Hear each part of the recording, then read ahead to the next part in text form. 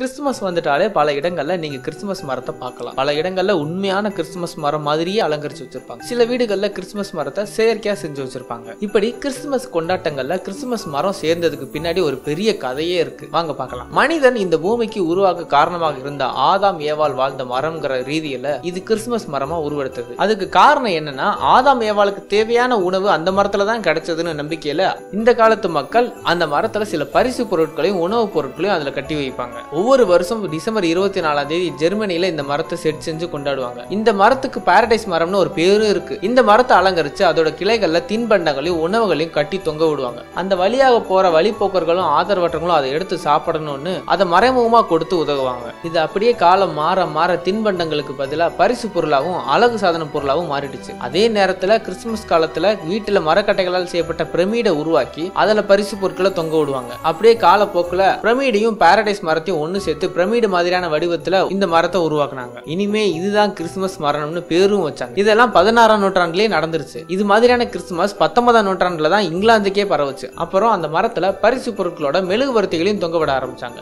இந்த concept Australia Switzerland Poland Netherlands China ஜப்பான்னு உலகம் முழுக்க பரவுச்சு. இருபதாம் நூற்றாண்டுல உலகம் முழுக்க கிறிஸ்துமஸ் மரம் பிரபலமாயிடுச்சு. இந்த காலத்திலயும் அவங்கவுங்க வசதிக்கு ஏற்ற மாதிரி கிறிஸ்துமஸ் மரத்தை செட் பண்ணி கொண்டாடுவாங்க. இந்த பழக்கம் தான் இன்னைக்கு வரைக்கும் தொடர்ந்துட்டே இருக்கு. இப்ப புரியுதா? கிறிஸ்துமஸ் மரம் எப்படி வந்துச்சு? எதுக்கு பிரமிடு ஷேப்ல இருக்குன்னு? நமது லட்சுமி ஹோம் அப்ளைன்சஸ் அண்ட் ஃபர்னிச்சரின் கிறிஸ்துமஸ் புத்தாண்டு மற்றும் பொங்கல் விழா சலுகையாக சுபமுகூர்த்த சீர்வரிசை ஆஃபர் மற்றும் ஒவ்வொரு பர்ச்சேஸுக்கும் நிச்சய பரிசு உண்டு. Lakshmi home appliances and furniture Pazhanganatham மற்றும் நாகமலை புதுக்கோட்டை மதுரை.